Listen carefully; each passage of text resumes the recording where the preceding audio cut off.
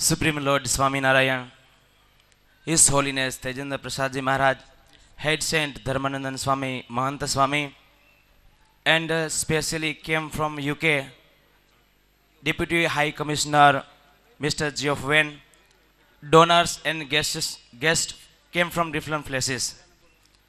Today is very great day for us. As you all know about Bhuj Temple, we every year celebrate the annual year in Bhuj Temple. But today, Bhuj Temple has decided for the those people who needs cureness. As you all know that time is changed and people are getting diseased day by day. For those who are who needs help, who will help them? Because they need a money and who will provide them money? So Bhuj Temple decided to help such a needy people who are diseased. So this year Bhuj Temple organized a mega medical camp. I would like to introduce instruct about uh, Mr. Geoff Wen. I think so. Four and five years ago, these temples organized more than eight mega medical camps in different parts of these regions, and more than 36,000 people were cured through this Bhuj temple. So, Bhuj temple, as you all know, that Bhuj temple is doing all activities. It may be educational, it may be a spiritual, or it may be environmental or natural natural calamities. Whenever people needed help, this temple definitely helped them. So on this great day, you came from UK, so I would like to call upon Mr. Geoff British Deputy High Commissioner, share your viewpoints today about this. Uh, public came from India and different part of India. As you know that you also staying in UK. So you may be acquainted of these people. So say a few words about this temple and say a few words about this mega medical camp. Mr. Geoff Wen. Mota Maharajshri, Mahant Swami, distinguished guests, ladies and gentlemen, Jai Swami Narayan. I'm very privileged uh, to have been invited here today to make some brief remarks on behalf of the British Government on the auspicious occasion of the inauguration of the second phase of Disease Free Kutch campaign. I am also particularly pleased to have been invited here on the occasion of the 192nd anniversary of the establishment of this magnificent temple. The very strong links between this temple and the UK are an excellent example of the deep and historical relationship between the UK and the state of Gujarat. Gujaratis are the largest group of Indian origin immigrants in the UK. Their contribution to the UK economy, academia, trade, culture, and politics has been profound, positive, and is, of course, ongoing. I am delighted to have been appointed the first Deputy British High Commissioner to the state of Gujarat. I look forward to working with the government of Gujarat, public and private organisations within the state, and the wide diaspora of Gujaratis in the UK to develop and build this relationship even further. As part of this, we have now established a Deputy High Commission in Ahmedabad, and we are proud that the UK is the first overseas country to, to have established a full diplomatic mission to the state of Gujarat.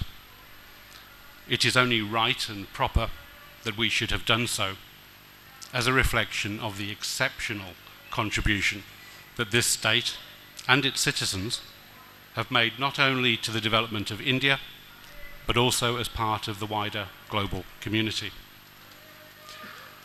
Many visiting British dignitaries, much more illustrious than I, have visited this temple because of the important role that it plays in the communities of Kutch and indeed the UK.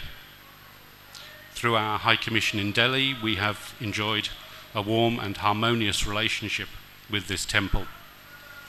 As recently as last year, for example, a representative of the temple attended and participated and contributed positively to a major conference in London on preventing sexual violence in conflict. I look forward to further enhancing the relationship between this temple and the UK. The temple has made a very positive contribution on the international stage. Its contribution in Kutch over nearly 200 years has been even greater. Its work on education for girls, on youth development, on environmental protection, on security, and on women's development has earned it an international reputation as an organisation that delivers real and sustainable change for Kutchis. That reputation will be further enhanced with the launch of the second phase of Disease Free Kutch, which aims to provide the latest medical uh, facilities and treatments uh, to the people of Kutch via these medical camps. The results of phase one in reaching 360,000 people and delivering 40,000 medical treatments uh, at no cost to the patient and irrespective of creed or caste is quite extraordinary, making a profound difference to the lives of those who benefited from that treatment. I would also like to take this opportunity to recognize the extraordinary work uh, undertaken by this temple in the aftermath of the tragic 2001 earthquake and the invaluable help and assistance provided by the temple to the British government at that time. That Bhuj and this district has recovered so well is testament to the resilience of the people of Bhuj and the indomitable spirit of the Gujaratis. Finally, I take this opportunity to recognise the efforts of those involved in the inauguration and future operation of Disease Free Kuch, to congratulate them on their achievement, and to wish them every success in the future. Thank you for your time and for your attention. આપણા ઈષ્ટદેવ ભગવાન શ્રી સ્વામિનારાયણ પૂજ્ય મોટા મહારાજ શ્રી પૂજ્ય મહંત સદગુરુ પુરાણી સ્વામી ધર્મનંદન દાસજી જાદવજી ભગત પ્રેમપ્રકાશ દાસજી સ્વામી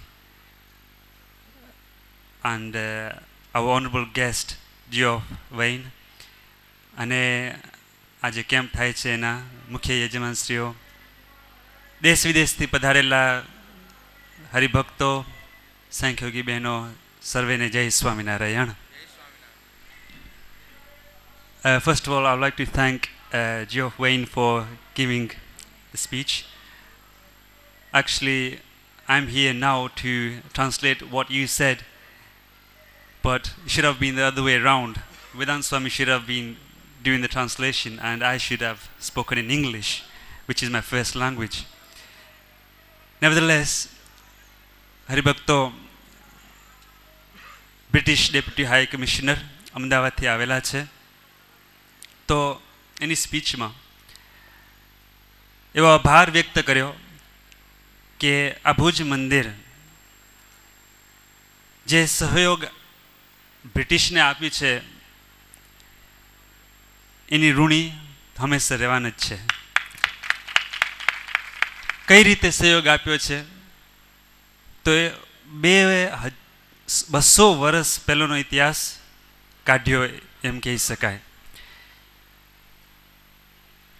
જ્યારે આ દેશમાં બ્રિટિશ રાજ ચાલતું હતું, ત્યારે જેમ આપ સૌ જાણીએ છીએ, એવી જ રીતે જ્યારે સર જોન માલકમ એ જોયું કે આ ગુજરાત પ્રદેશમાં આટલું બધું પરિવર્તન કઈ રીતે થયું, તો સ્વામિનારાયણ નામ એના કાને પડ્યા. એ નામ જ્યારે પડ્યું, ત્યારે જોન માલકમ એની ઈચ્છા થઈ કે આ વ્યક્તિને મને મળવી, મળવું છે. મળ્યા રાજકોટમાં, ત્યારે રાજકોટમાં સ્વામિનારાયણ તરફથી જાણવા મળ્યું કે આટલું બધું ગુજરાત પ્રદેશમાં પરિવર્તન કઈ રીતે લાવી શક્યા. તો બસ આ એક શિક્ષાપત્રી આ શિક્ષાપત્રીમાં જે શ્રીજી મહારાજે પોતાના આશ્રિતોને આદેશ આપેલો છે એ આદેશ પ્રમાણે ગુજરાતના ગુજરાતની પ્રજા એનું પરિવર્તન થયું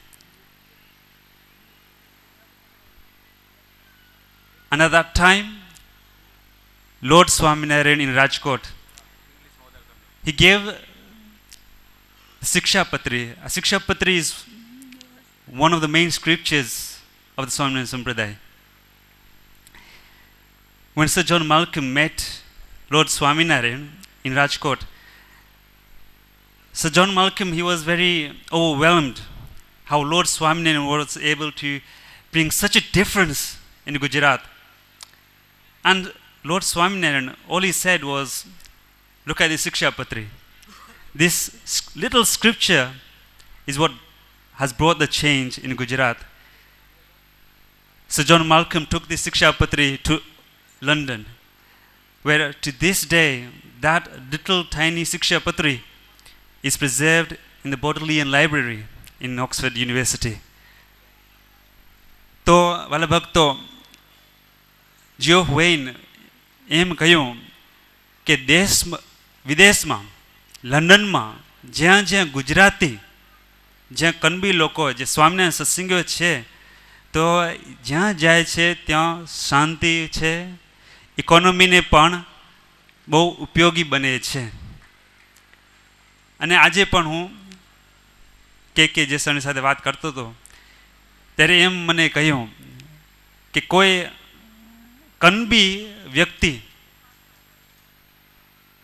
probably not one single Swaminarayan devotee in UK, in Australia, or anywhere in the world who is in jail, who is in prison. Why? Because of this Siksha Patri. અને જો જવેન આજે આ આપનું કેમ્પ જોયું તેમાં પણ ખૂબ આપણે પ્રશંસા આપી કે આવા કેમ્પથી હજારો વ્યક્તિઓ દર્દીઓ આમાંથી લાભ લઈ શકશે. પણ એને સૌથી પ્રશંસનીય વસ્તુ એ લાગી કે આપણે આ ધાર્મિક કાર્ય કરીએ છીએ. પણ એમાં કોઈ નાત, જ્ઞાતિ, જાતિ, ધર્મ જોયા વિના સૌને આપણે આ સેવા આપીએ છીએ ફ્રી ઓફ ચાર્જ તો વાલા ભક્તો, એવી જ રીતે અંતે ભાઈશ્રી એમ કહી ગયા કે બે હજાર એકમાં જે ભૂકંપ થયો, એમાં પણ જે ભુજ મંદિર તરફથી ભુજ પ્રદેશના ભુજ વિસ્તારના લોકોને જે મદદ કરી, એ પણ બહુ પ્રશંસનીય છે. અને હું એમ માનું છું કે આ ભુજ મંદિર જેટલું આમ કાર્ય કરે છે કે એને બધા આશ્રિતો ભુજ મંદિર પ્રત્યે શ્રદ્ધાવાન છે. એટલે આવા કાર્યો briefly just for the benefit of Geoff Wain today we are celebrating the 192nd anniversary of uh, the initiation of Lord Naranarayana Deva in Hinduism we believe that Almighty Lord Supreme, He incarnates upon earth. And Lord Naranarayana Dev is one of those manifestations when Lord Swaminarayan, 200 years ago, when he was upon this earth, he met Sir Dunlop. Sir Dunlop was also fascinated by what Lord Swaminarayan was doing in Gujarat. And he offered Lord Swaminarayan a piece of land in Ahmedabad, where you are established at the moment. And there, to 193 years back, Lord Swaminarayan had first built the Nanandev temple in Ahmedabad, which is in Kalupur. And His Holiness Acharya Tejendra Prasadji, who is in, dressed in white, he is the head of this sampradaya, of this religious sect. One year later, Lord Swaminarayan had installed that very same NarNarayan Dev in Bhuj. But because of the earthquake in 2001, unfortunately, we had to move those idols into this new temple, and today we are celebrating the 192nd anniversary. And for the next five days, we'll be listening to one of the main scriptures of this religion, and also in commemoration of this anniversary, we are doing this medical camp. So I hope you enjoy, enjoy your stay here, and I hope that many people will be able to participate in this medical camp. Thank you. Jai Swaminarayan.